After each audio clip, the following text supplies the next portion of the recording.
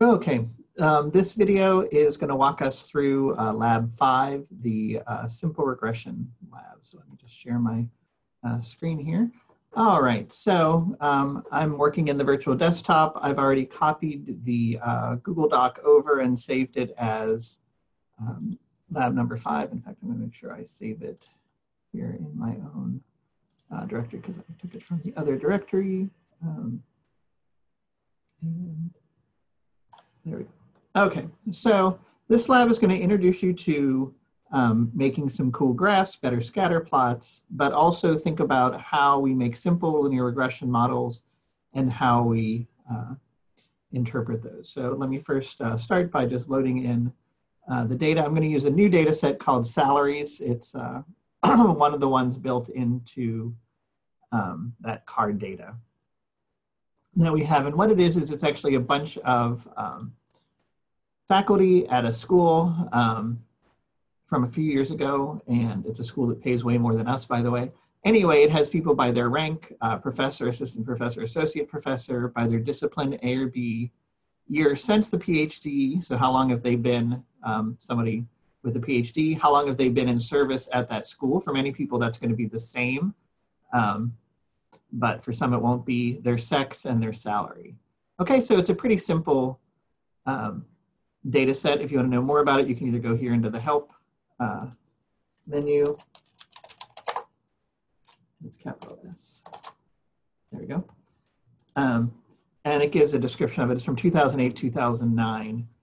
Um, and it was particularly generated to investigate gender differences. So um, you'll be unsurprised that that's the thing we're going to look at here as well. All right, so um, the first thing I want to mention is uh, the pairs command. So the pairs command is a simple thing built into base R.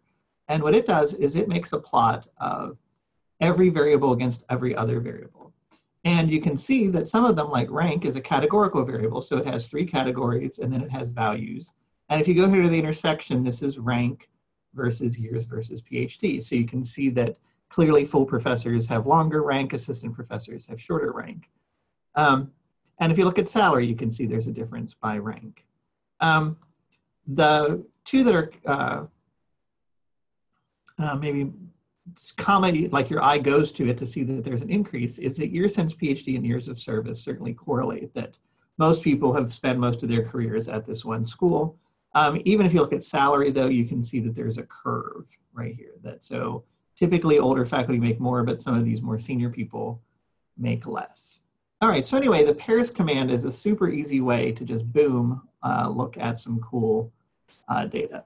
It actually has a few things built in to show you more complicated ways of making um, the pairs command, and including it has little things where you can enter uh, some commands to do uh, histogram so that you can make one side uh, be the scatter plot, the other side be a histogram, or the diagonal be a histogram um, or you could put the correlation um, on the intercept. Since these are uh, parallel, right? This graph and this graph are the same, just they're uh, transposed from each other. Anyway, um, it asks you to, first question is to interpret that a little bit. Now, pairs is nice, ggplot can be a little bit nicer. So we're gonna use the gather command uh, to make a set of um, these. So um, what this command should do, geom point with facet wrap, and gather is now it's going to look at salary comparing years of service and years since PhD. So it sort of zooms in, right? If this one made a quick all of these, it's going to zoom in on these two graphs. And you can actually see even with your eye how the two of them go together. Now there are several ways to do this. We could gather on several different ways and then we get um, other kinds of charts. Um, here we made the box plot uh, to compare that. Um, and again, it's a little bit hard to see because the things overlap each other. If you actually make it bigger, um, you can see it a little bit closer. But we can certainly see that um, something here is going on um, with uh, females versus males, and associate assistant and full professors are in alphabet order, which is a little bit funny. Uh, that's why the middle one is lower. And then here's Department A and Department B. Department B is clearly one that pays better than Department. Uh, so um, again, it's sort of funny because since we smushed across all the variables, um, it puts all those factors, even though each variable only has uh, two of them. So um, now we're going to add stat smooth. Um, we talked about doing that. So stat smooth, remember, just calculates a smoothing variable. We're going to use the LM method to make a line. So here we are now looking at our salary by year since PhD. And again, take your time. If I'm going too fast, stop the video, go back and look and make sure you understand what's going on. Um, and if we add color equals sex, we can actually get the two different lines to look at that. Notice that female is red and male is blue. Um, in this example, light blue. And you can see not only does there seem to be um, a parallel structure that's sort of interesting, but the slope is quite different, that the female uh, salary is actually pretty steep and the male's is flatter. And presumably that has something to do with the fact that there are several of these very senior people who are not getting paid as much. And so again, something's probably going on with them. Um, since people who've worked at your school for 40 years, they're all in their 70s or 80s, um, might be something different. We might decide um, to just limit them out um, and do that. And so question two asks you um, to modify the code so that you can do that. So what you're gonna do is you're gonna make a new data set and you're going to something it. Are you going to filter it? Are you going to select variables in a different way um, in order to get that uh, data set without the 40, and then you're going to make the graph, and then you're going to describe what happens to it. Um, then we're going to do some correlations. Again, here we've made, um, um, this is just uh, some code to make the pictures come out in a nice way. Um, but when we do that now, we can look at these um, things here, just reminding you that an R of one is increasing, an R of negative one is decreasing, and an R of zero is sort of random. The cor function is the variable that calculates the linear correlation. and so again, if you've forgotten what correlation is, you might go back and check it out. But um, we can quickly just look at the correlation and see that the 0.419 is the correlation between salary and year since PhD. So a 0.4 correlation is a pretty good um, correlation and you can uh, look at that. Um, again, look at the code here to make sure you see that it's selecting the two variables and then it's calculating the correlation on the two variables that are left. Um, question three here asks you to um, do the select command to look at all three of them and uh, to talk about what that says. All right, so now we're gonna get to the actual LM command. The LM command can be done in several ways, but the simplest one is you use this tilde to just say, here is our predictor variable, our y, tilde our x variable. So whatever we think is the outcome, we put first. Whatever we think is the predictor, we put second. So I'm going down here to line uh, 209 in your code. Um, we can look at these uh, variables. So again, I'm going to um, make the linear model.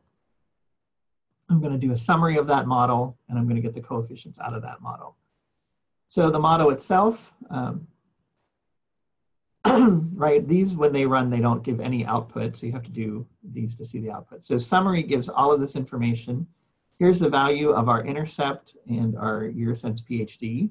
So again, that would imply that a new faculty member makes $90,000. Not true, Truman. And then for each year in service, you get about a $1,000 raise. These are the p-values, so they're very small. As we know, we worry about that with big data sets. Um, this is number 396 faculty.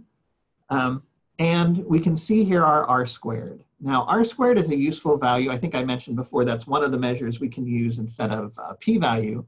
Um, R squared, you might remember, is the percent of variation in our output variable that's explained by our input variables. In simple regression, um, it's literally the R value squared, which is why we call it R squared. But what's nice about R squared is that we can look at it for many, many different variables. There's a value over here called adjusted R squared, which I'm actually going to use. And it makes a little adjustment based off of the sample sizes and the number of variables that you include. So in any case, here's our intercept and our uh, slope. So if we were making a linear equation, we'd say 91718 plus x, the year since your PhD, times 985. And that's coef, gives you the coefficients for that. Okay, um, now we do have a couple more uh, ideas that we can use, and I'm going to use the um, modelr package. It sometimes gets loaded with base R, but in case it doesn't, um, we're going to load it here separately. And what it does is it adds predictions and adds residuals. So what that does is it just makes a column in your data set that adds the predictions onto the end. And that makes it easy for you to see how your predicted value goes against your actual value. All right, so we've just added that in, and now that we've done that, um, we can now see how the line uh, goes on here. So instead of um, calculating the line as a smooth function, we're now algebraically calculating it based off of that data. Again, it looks pretty um, good to see. Um, and um, by adding in the residuals, we can now see what kind of error we have. And um, if you take a regression class, you'll learn uh, how to interpret the residuals. But in a good model, um, it's very easy to say that the error should look random. And if you look at this, this doesn't look random, right? It looks like a cone um, going across the page here, which tells us that at the higher levels, these residuals are really far apart. So some people are much higher and some people are much lower than the model. And at the low end, that's much smaller. And so that's a sign that there's something else going on here, which again, we're gonna get to uh, later. The last thing I wanna mention is that even though linear regression is for uh, quantitative variables, for numerical variables, we actually can use categorical variables as well. So if we put rank in our model, what you'll see is it comes out and it says the default uh, salary is at a assistant professor makes $80,000, an associate professor makes $13,000 more, and a full professor makes $46,000 more. Again, way more than we make here at Truman. But um, this is actually uh, doing what's equivalent to an ANOVA analysis, which we won't talk about too much in this course. But since most new professors come in as assistants, this isn't so surprising. Um, some schools actually literally have a bump that you get when you get promoted from assistant to associate professor.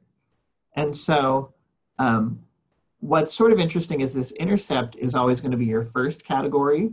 And since we didn't do anything, it goes in alphabetical order. So assistant professor was the first alphabetically. Um, we could also um, include them on the chart. So here's our dot plot and we put the mean right there in the middle with this predicted value using that add predictions campaign uh, command that we added in. Okay, um, one other thing I want to mention here is that see how we did our dplyr first, and then once we got to ggplot, we did our plot. So um, when you combine the two, you have the pipes of the one kind and then the pipes of the other kind. So um, there you go. So that's a quick introduction to uh, simple regression. We're going to be talking about more interesting regression a little bit later, but you want to get the hang of how these uh, commands work, including the coefficients and the add predictions and the add residuals, how correlation ties into it. So um, if you have any questions, let me know. Otherwise, uh, this is the introduction to Lab 5.